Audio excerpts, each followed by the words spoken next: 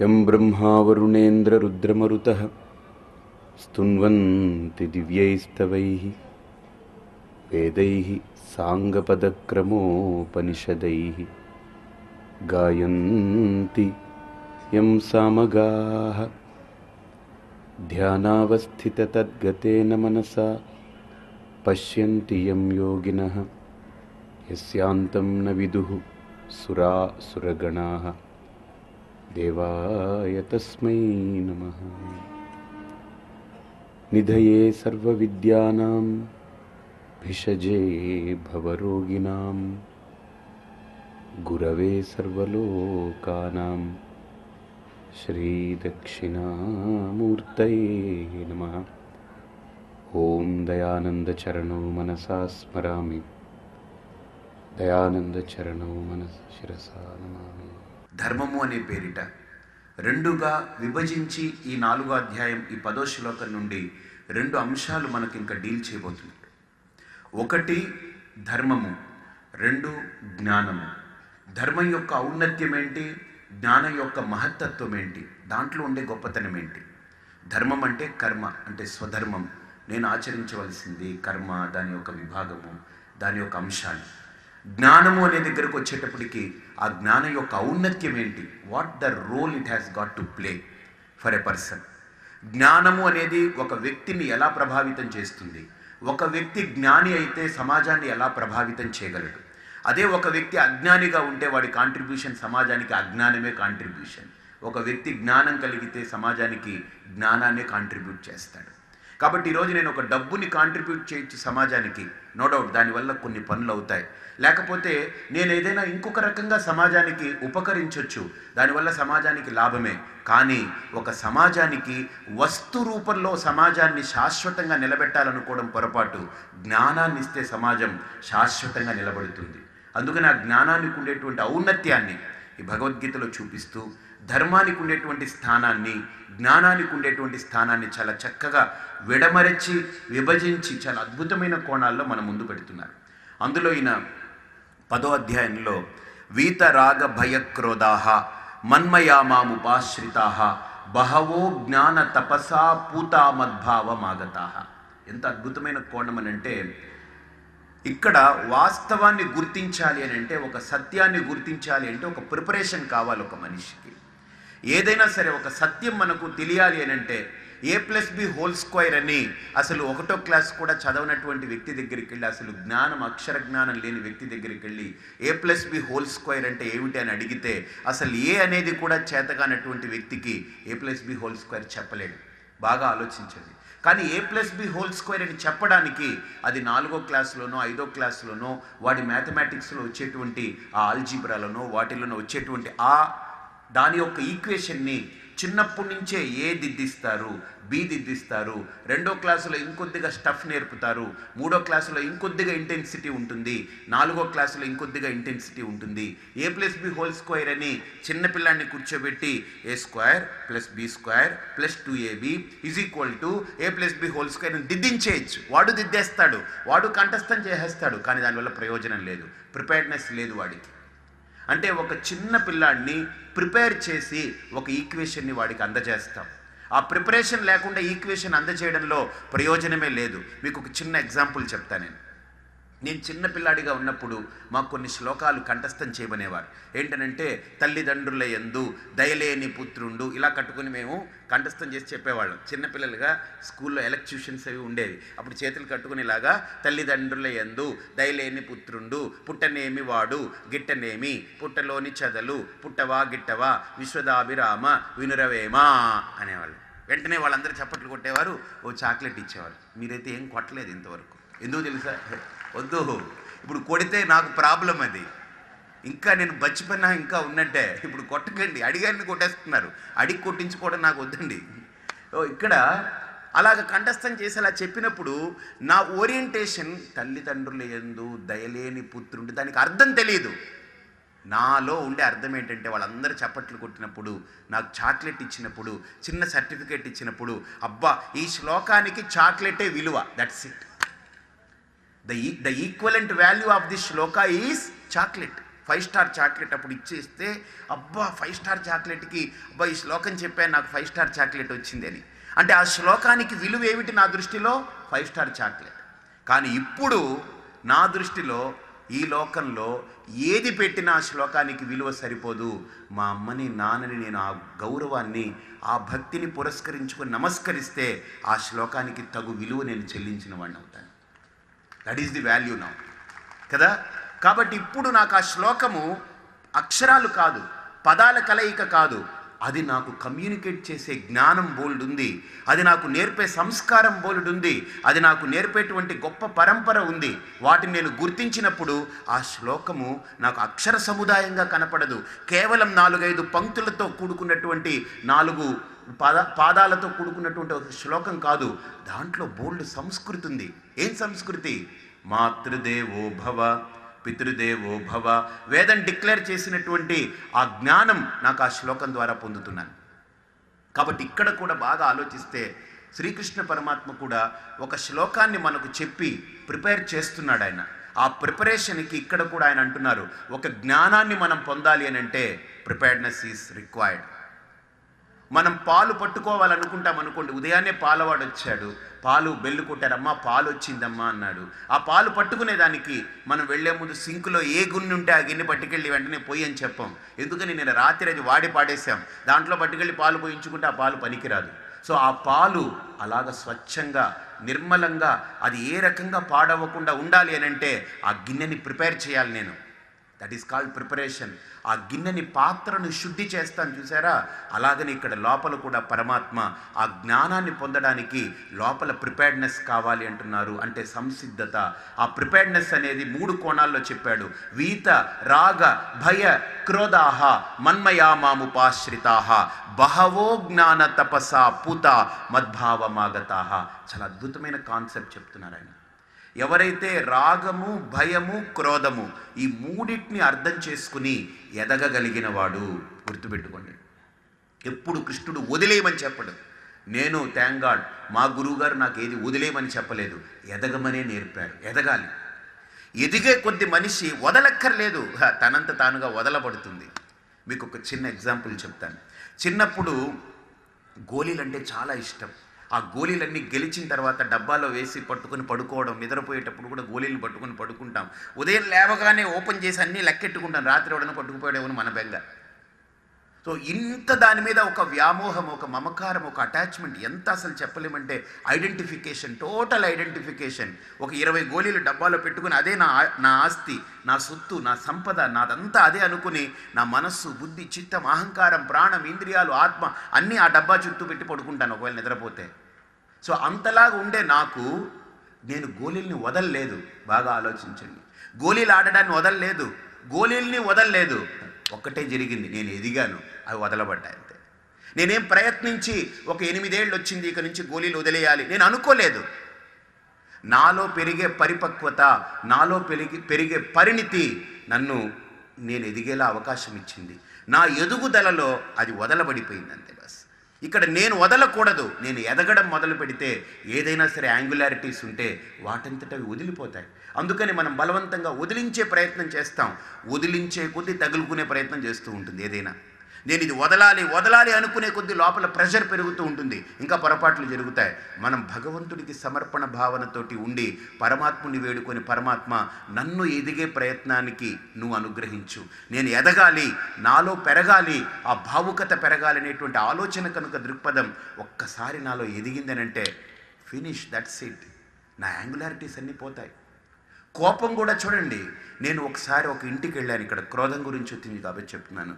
కోపం కూడా ఒకరింటికి వెళ్ళాను నేను. ఒకరింటికి వెళితే అక్కడ భార్య భర్త ఇద్దరు కూడా ఏదో గందరగోళం అయిపోతున్నారు. వాళ్ళ మరిది ఉన్నాడు నేను ఉన్నాను. వాళ్ళిద్దరికి ఒక రకమైన హీట్ అయిపోయింది. సిచ్యువేషన్ అంతా హీటెడ్ అప్ సిచ్యువేషన్ బాగా వామప్ అయిపోయింది. వాళ్ళిద్దరూ ఆవేశం ఇదవుతున్నారు. నేను బిత్తరగా కూర్చున్నా నాకేం అర్థం కావట్లేదు. నేను ఇంట్లో ఉన్నాను వీళ్ళిద్దరు కొట్లాడుకున్నారు ఏంటి పరిస్థితి అనుకున్నాను. గందరగోళం అయిపోతుంది. వీళ్ళ మరిది గారు ఏం చేశారంటే చిన్న హ్యాండిక్యామ్ ఉంది. అన్నీ షూట్ చేస్తున్నాడు. మాకేం తెలిసి చావట్లేదు. నేను పట్టించి నేనేంటంటే వాళ్ళ దాంట్లో సీరియస్గా ఉన్నాను. వాళ్ళు వాళ్ళ దాంట్లో సీరియస్గా ఉన్నారు. మొత్తం మేము ముగ్గురం నేను ఇలా బిత్తర చూపులు చూస్తూ ఉండిపోయాను. వాళ్ళిద్దరూ కాకర పేకర కాకర పేకరమని అని వాళ్ళిద్దరూ ఏం మాట్లాడుకుంటున్నారో అర్థం కావట్లేదు. గందరగోళంగా ఇదైపోతుంది సిచ్యువేషన్ అంతా కూడా ఒక వామప్ అయిపోయిందంతా. Heated up situation. అంత సిచ్యువేషన్ని నాకు అర్థం కాలేదు. వాళ్ళ మరిది గారు దాన్ని అంతా షూట్ చేశారు. షూట్ చేసి అంతా అయిపోయింది.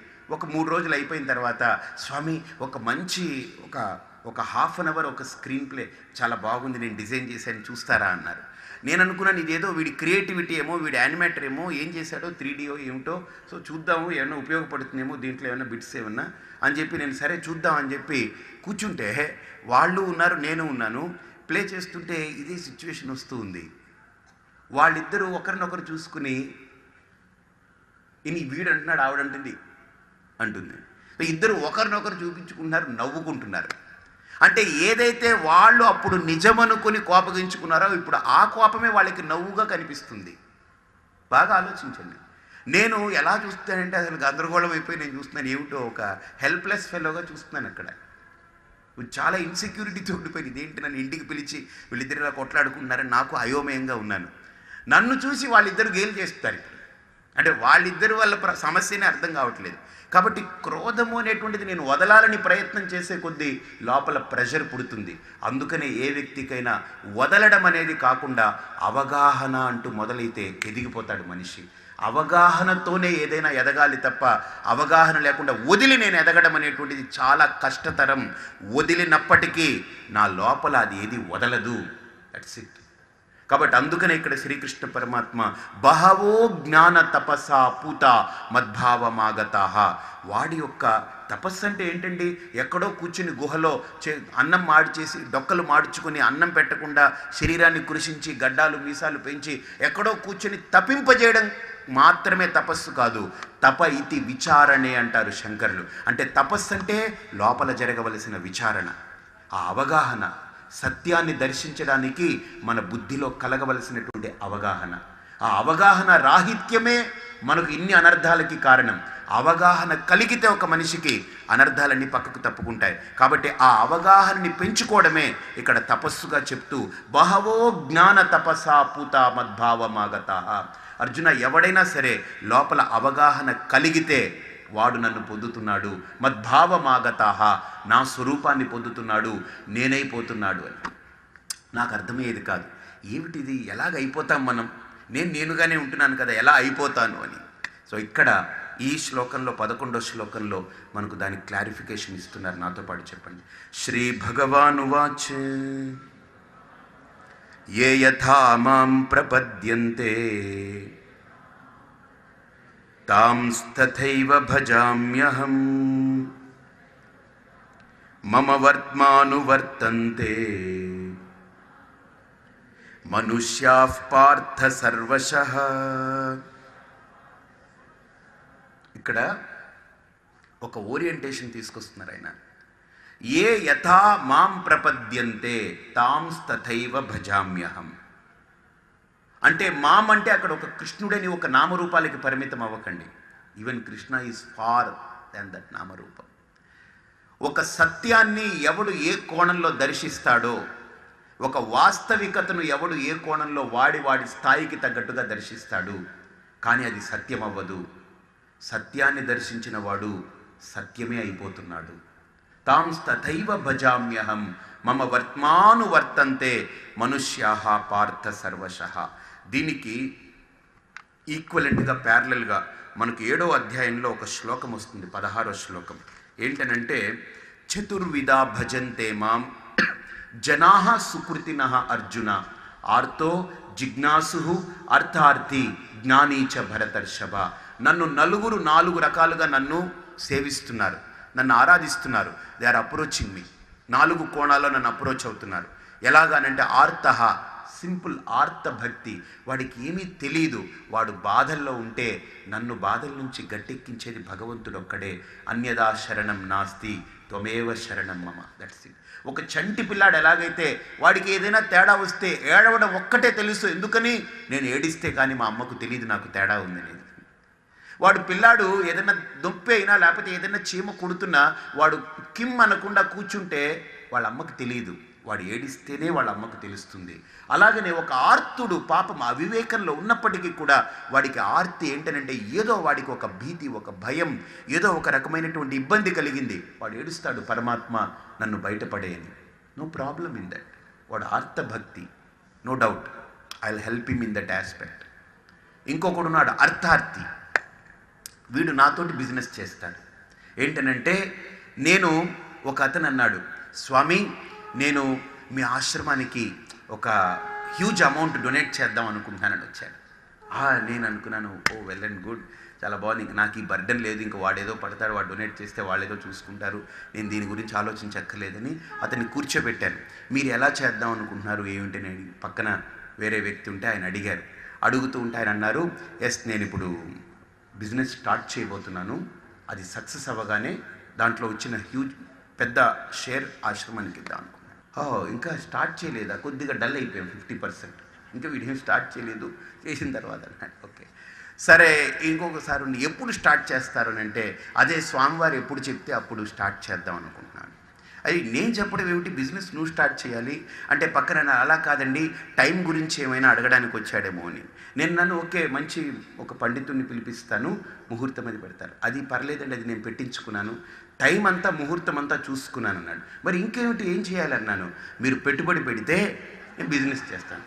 ఓ ఎంత దూరం వెళ్ళాడు చూడండి వీడు.